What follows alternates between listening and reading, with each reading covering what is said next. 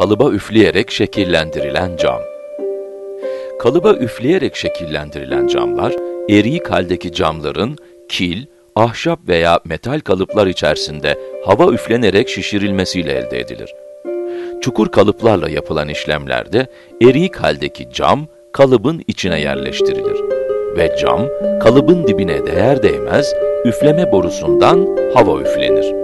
Böylece de kalıbın içerisinde bulunan oyuklar cama şekil verir.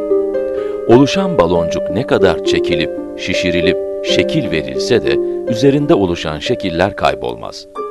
Oluşan bu baloncuk en uç noktasından maşayla tutulup üfleme borusu çevrildikçe üzerindeki desen de bükülmüş bir hal alır. Cam eriği aynı zamanda birkaç parçadan oluşan kapalı kalıplar içerisinde şişirilerek de şekillendirilebilir.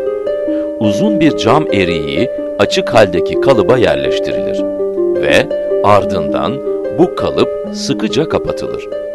Kalıp kapatıldıktan sonra da üfleme borusuyla ucundaki cama güçlüce hava üflenir ve cam sertleşince de kalıp açılarak cam çıkartılır. Bu tip kapalı kalıplar tekrar ve tekrar kullanılabilir. Bu kalıplar sayesinde de hep aynı desen ve formlar oluşturulabilir.